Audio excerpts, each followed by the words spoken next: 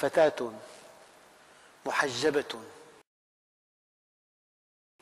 حجابا كاملا تدرس الرياضيات في أمريكا.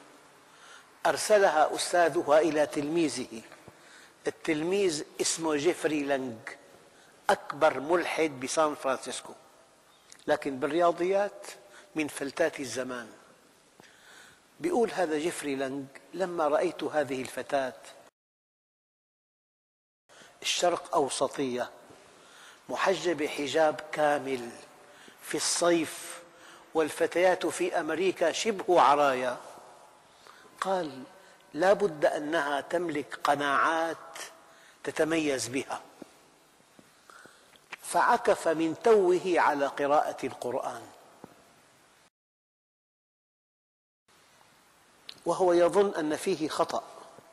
فلما وصل إلى قوله تعالى عن فرعون فاليوم ننجيك ببدنك. اتصل بصديقه موريس بوكاي بفرنسا رئيس المشرحة في باريس. إنك تزعم أن القرآن كلام الله وهذه الآية.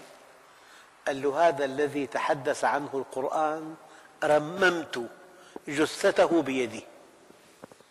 ومات غرقا وهو فرعون موسى. الآن أكبر داعية ما تكلمت ولا بكلمة لأنها محجبة أقنعته بالإسلام.